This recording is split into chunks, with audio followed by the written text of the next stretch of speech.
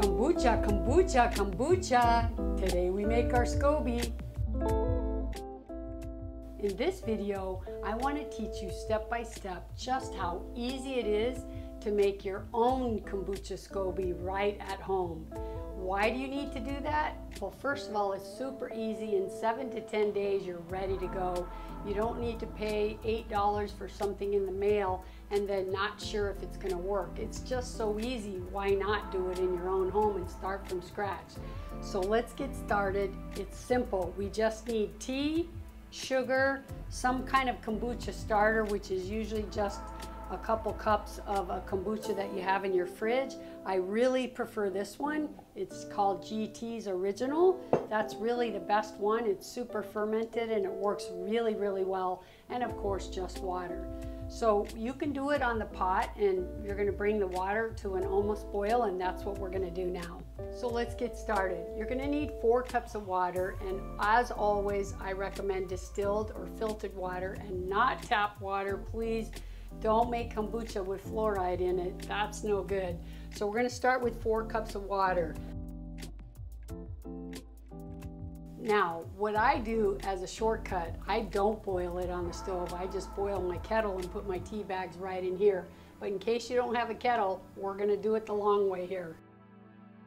So while we're waiting for that to boil, let's answer the question of what kind of tea. There's people who use green tea and some that use black tea. Sometimes people use both and other teas.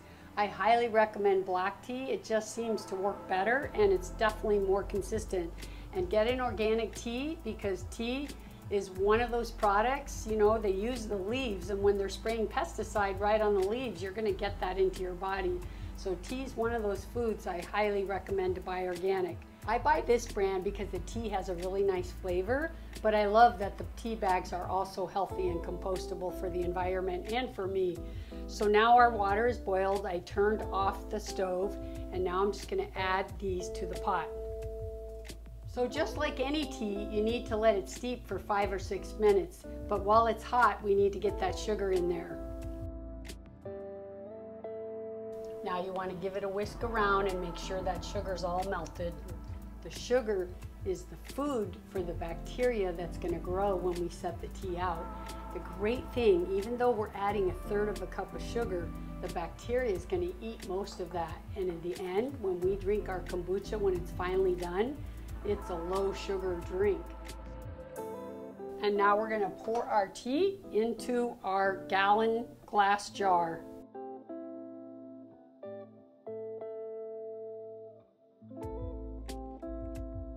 Two of these gallon jars because one of them, which is this one, we're going to keep always to keep our scobies in because a SCOBY always has to stay sitting in a tea mixture like this.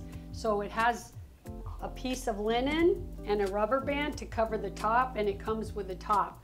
The ones I bought, and I'll leave the link below, it comes with all of this. It's just easy, so I highly recommend that. You're gonna need some bottles, but not for today, because today we're just making the SCOBY. But since you're gonna order maybe these jars, then go ahead and get six of these bottles. These are the 16 ounce bottles. They make them in smaller. I don't like them bigger than that because if you have a carbonation and then the bottle's too big, it loses it before you drink. So 16 ounces is perfect for me. I let it cool about four or six hours and if it's still warm, then don't start the next step because you really need this to be room temperature because this has all kinds of cultured probiotics in it and they're gonna die if you put them into a hot tea. So we're gonna open this now. This is GT's Original. It's so delicious, this brand. They make so many great flavors, but I tried just the original one just to keep it basic to make our our SCOBY starter. And now we're gonna add this. And that's pretty much it. We're gonna stir that around. It's so easy, you guys. In seven to 10 days, you're gonna have a SCOBY. Now, most important is to cover it. You don't wanna get junk floating in there and you don't wanna put this lid in because it needs to breathe a little. So we're gonna just put this on and a nice little rubber band around it and then I like to pull it tight just to make sure it's on right. And that's it. The ideal temperature, even when you're doing sourdough bread and you're using a starter or any fermented vegetables, anytime you're trying to do fermentation, you want to try get a temperature around 65 to 75. That's really ideal. You can just put it in a closet somewhere and let it let it be and come check it in seven days. If your house is hotter than that, then it's going to happen much faster. Try to find a cool spot in your house that's in that temperature range. And if your house is colder than that, they sell some things you can wrap around your jars to help keep it warm. You can just buy a thermometer like this and when you open it up, it'll tell you. Let's check it right now. 73.6, perfect. So in about seven to 10 days, when my SCOBY is formed, then I'm gonna show you it and tell you what to do next.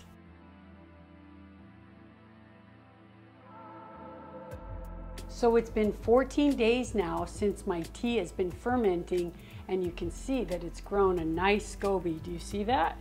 See it floating around in the top. Now remember, we made this from scratch. We didn't buy a SCOBY and put it in. We made it totally from scratch. That's why I decided to leave it 14 days because I wanted a nice, thick, substantial one. Could have stopped the fermentation on day 8, 9, or 10. It was ready, but I wanted to get it a little thicker. The longer you leave it, the better your SCOBY gets but the more vinegar-like your tea will become. And after I made this, I decided to do an experiment. I wanted to order an already formed SCOBY and some starter tea and have it go side by side and see which one was better. So I ordered this online. You can see it has a SCOBY in it and the fluid here is called the starter tea or the fermented tea.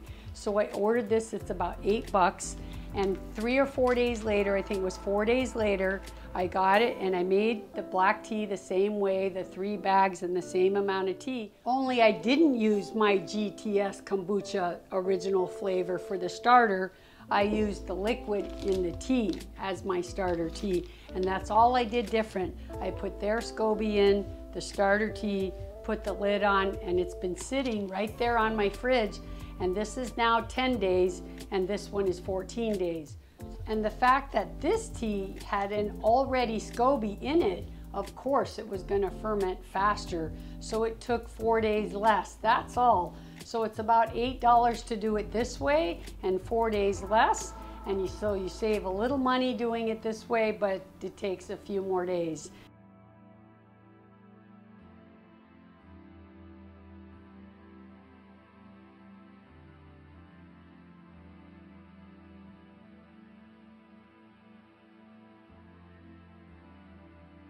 Before I go, I want to taste it.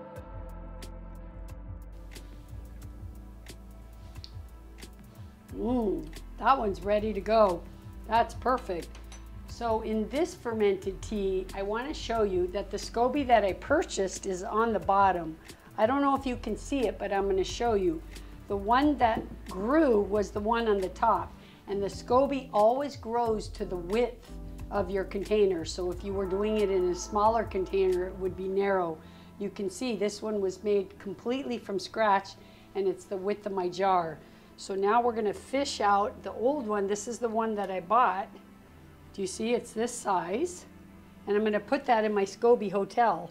I'm gonna put it under the bottom there and keep this nice one on the top that I grew. I decided to use this SCOBY for my next batch of kombucha because I like the idea that I'm using one from the bacteria and yeast in my house. So now I'm gonna show you how to make your very own first batch of delicious kombucha. So be sure to stay with me. I'll see you there.